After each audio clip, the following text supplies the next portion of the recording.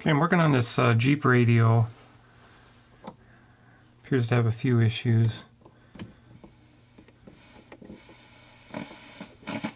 Volume control is noisy. Um, the AM FM switch doesn't work. It looks like it's stuck on FM. Can tune it here. It will pick up stations.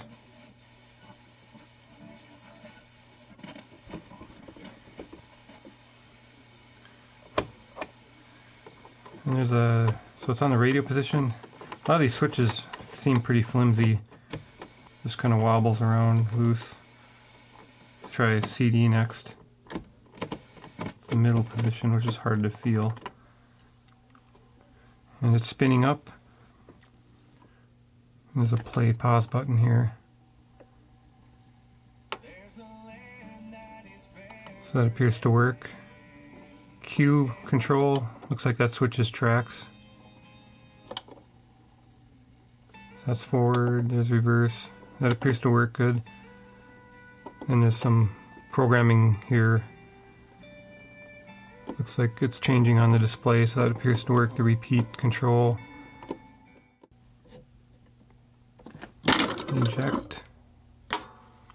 Seems to go up really slow. And if you push it too hard, it'll looks like sounds like it's skipping gears on the mechanism.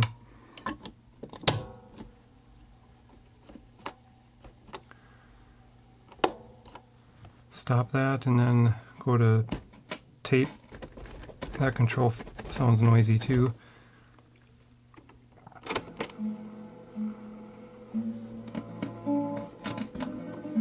Play works. Rewind fast forward, play pause works.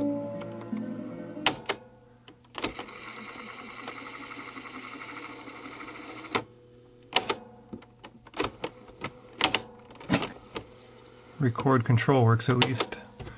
I don't have a mic to plug in to test that.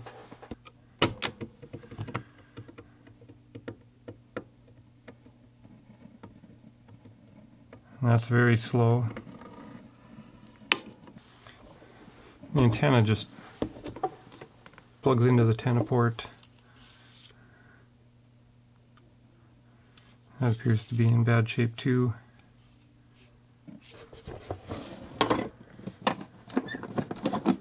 Latch works. On the bottom there's uh, quite a bit of corrosion on the battery connectors.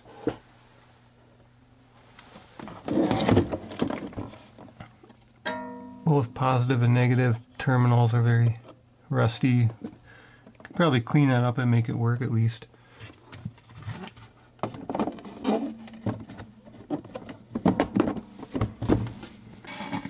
One other thing I noticed is the only the left speaker is working.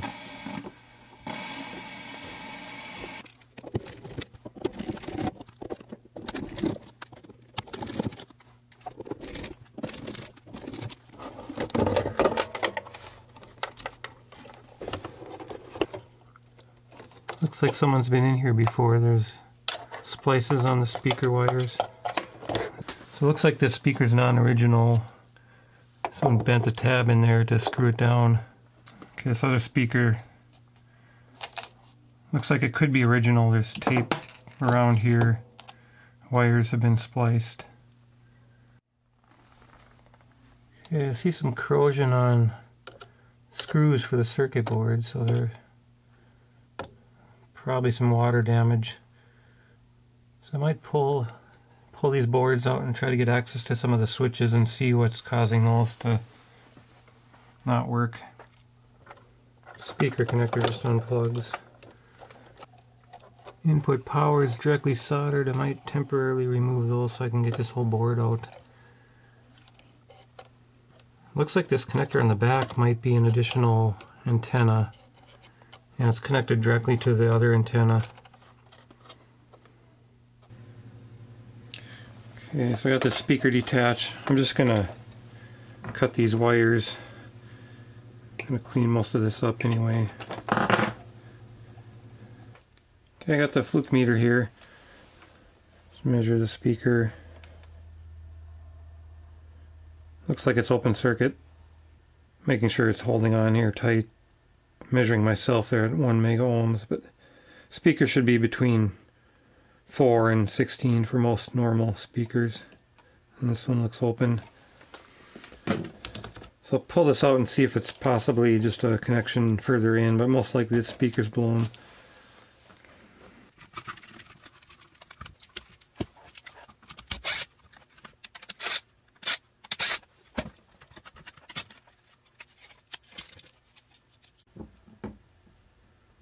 Like an 8 there, but I don't know what this other lettering is. 3, 3 watts maybe, 8 ohms, 3 watts. I'll measure right on the speaker terminals. When that's open, check the leads here. I can see them going into the voice coil. Nothing broken there, so the voice coil itself must be uh, open. Okay, I'm going to desolder this antenna wire just so I can have better access to the circuit board.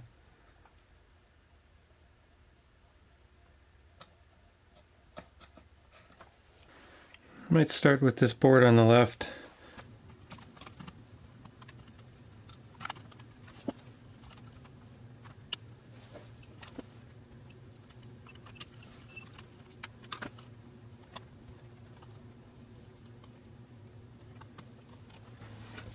Looks like this knob will have to come off.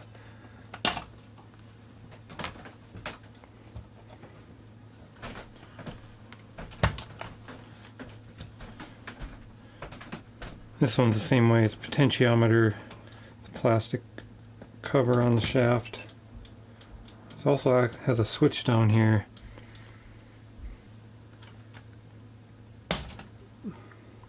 Oh, it's a two-piece top came off, so that should be okay.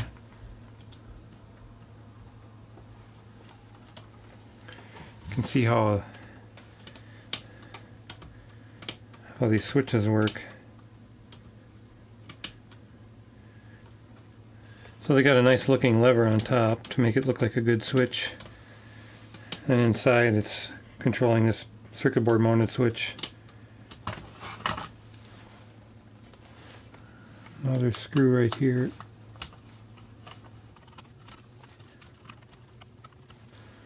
One in this hole.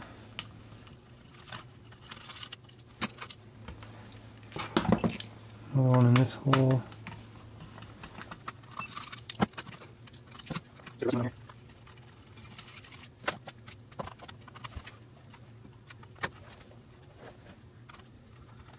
Okay.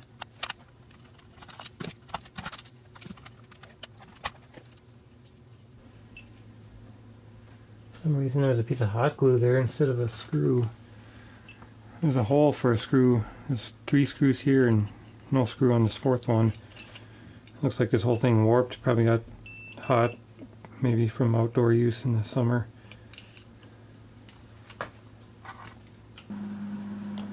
Okay, so I was able to pull off this dial. Um, this needle basically is just pushed into a hole, so I had to pull that out first just a round shaft, so basically just some friction fit holds it so to uh, align it, basically you'll have to tune in the station, put the needle where it is, and then don't touch the needle again. So I'd like to see if I can get this off without um, too much trouble.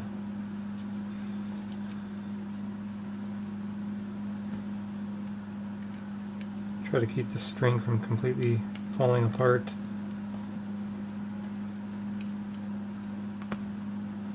Sure if this will work.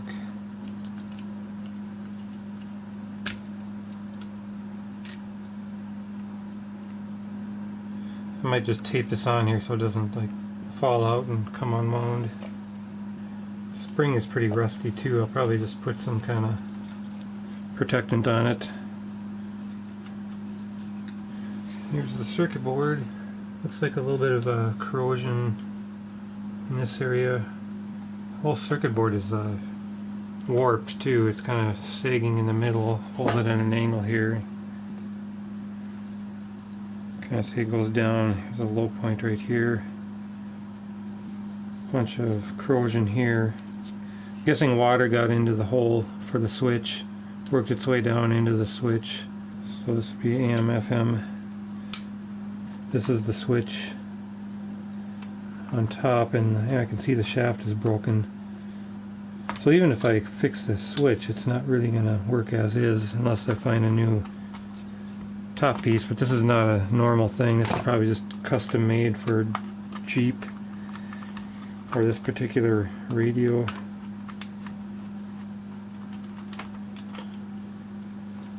What I could possibly do though is install a toggle switch right to the chassis.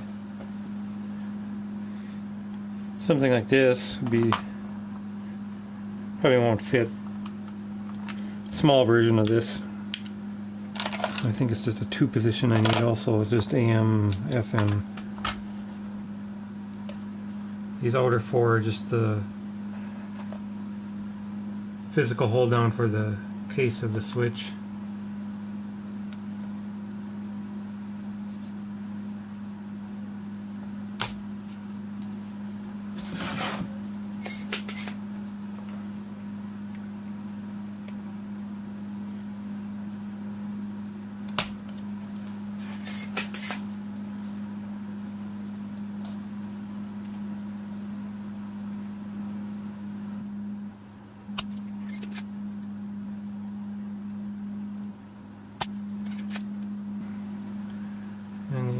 Contacts. Looks like some of these might be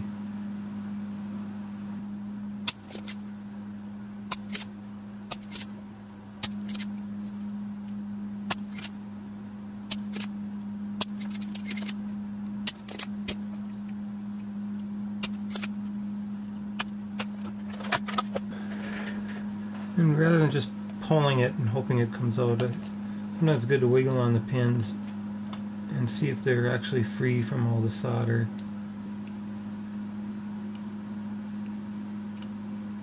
That one feels stuck. That one and these two. And this one.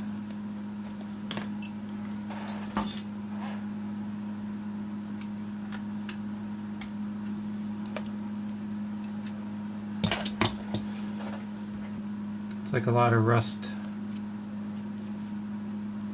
flaked off the outer case and worked its way under here to the pins.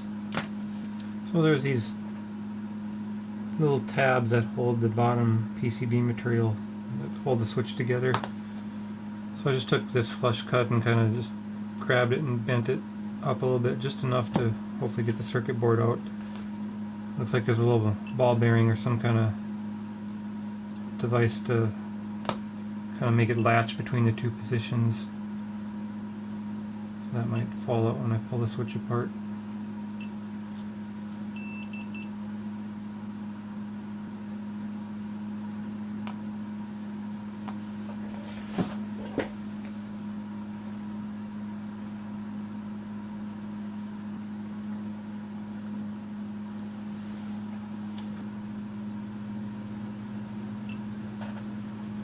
Looks like this might be re reusable. Little pin here. And clean that up. And there's these sliding contacts. Like none of this is metal that will rust. Um, so it actually looks okay inside. Um, the shaft itself appears to have some rust on it. Might be able to clean that up. Ball bearing just flew out here. There's the ball bearing and a spring.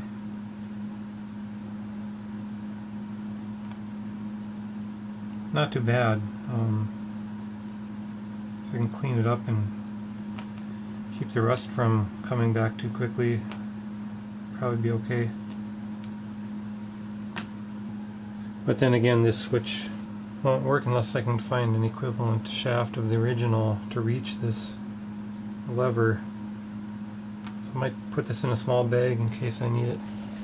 Okay, I think I'll clean off this uh, old flux and, and see uh, what connections are actually needed. Then we can maybe run wires from here to the chassis for the replacement switch. I'll clean out this volume pot with uh, Deoxit D5. Basically just find the axis here. The contact material is on the upper surface of this PCB material. Doesn't take much of this to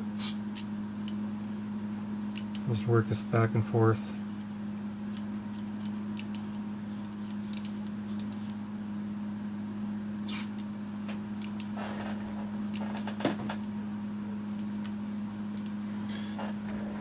I'm going to spray a little into this switch here to clean up those contacts.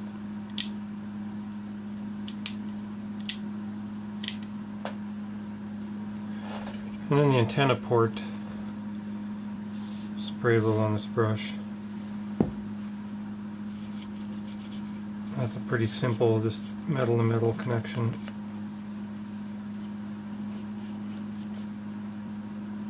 So it looks like the only contacts used are this pin here and this one here. So basically uh, just a very simple toggle switch could replace this just by running wires to these two contacts. It's a common uh, toggle switch. Way more contacts than I need for this case. I'd really only need two. But this would still work if you just use two of them. Um, if it fits. I found this switch that has just three contacts, so I already had wires on it and heat shrink, so I figured I'd use this one. I ran the wires through the bottom of the board. I'm using this slot that existed before for the other switch. It's kind of a strain relief for the wires to kind of help guide it to the right position. I've got this at about 150C. I'm going to try to unwarp this dial here. I'm not sure if this will work. Hopefully it doesn't make it much worse than it is. Plan is to heat it up and then sandwich it between two plates of glass to try to flatten it.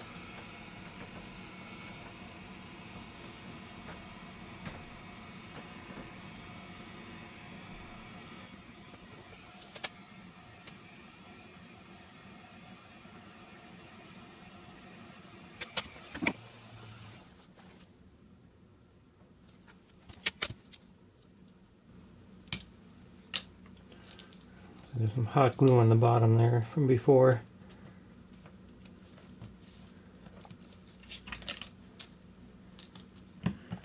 Not sure if that's better or worse. Going to try one more time.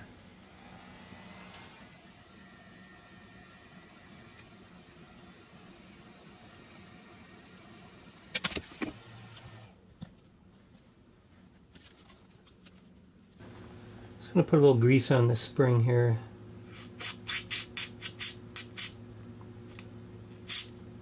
Fluid film. Kind of, some people use it to undercoat their cars. I'm going to try to find a screw for that last hole. That's the one that was missing.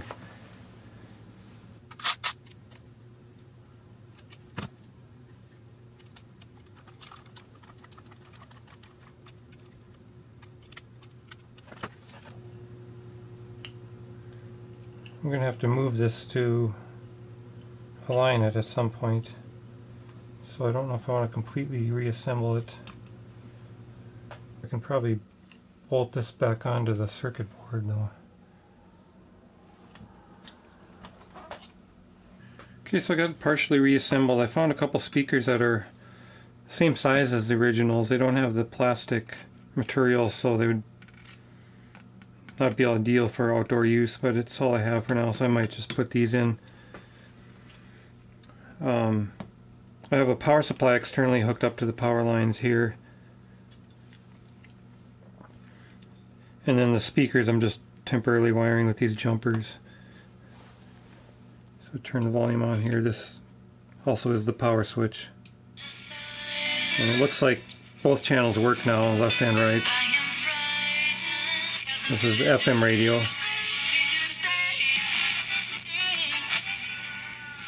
And then here's the FM AM switch. So now this should be AM. see if we'll pick anything up. So looks like that works also. 85. President Biden So next will be to get this dial kind of tuned in. I could just find a station that I know the frequency and just move the dial to the right spot. Okay, so what I ended up doing is I have this device uh, called the Tiny SA, which has an output that can output um, RF frequencies. So what I did is I tuned it to a known location on the dial, a marked location, which is 101.5. So I tuned this to 101.5 and added a modulation of 400 hertz. I'll turn the volume up here.